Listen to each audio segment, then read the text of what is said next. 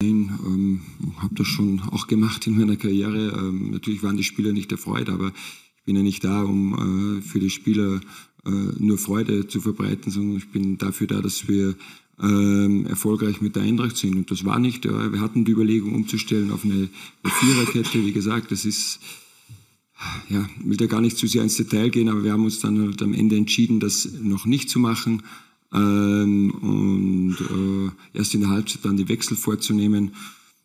Jetzt kann man sagen, es war zu spät. Wenn, wenn wir verlieren, ist das auch völlig äh, legitim und richtig. Ähm, ja, äh, wir haben halt so entschieden und am Ende des Tages ähm, bin ich und sind wir ähm, alle heute schuld an dieser Niederlage. Also ich will das jetzt gar nicht auf die Spieler in keinster Weise abwälzen, sondern es war von uns allen einfach zu wenig, von mir auch. Hätte ich äh, vielleicht auch ein Stück weit früher schon ins Spiel noch mehr eingreifen können.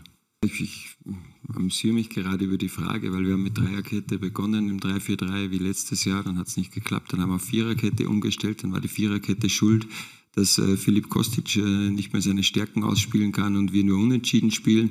Äh, dann war die Fünferkette aber das, äh, das äh, super System gegen Bayern München. Ähm, und heute war es wieder schlecht. Also von dem her, ähm, das schon oft gesagt, sorry für die Wortwahl, es ist scheißegal, in welchem System wir spielen. Ja?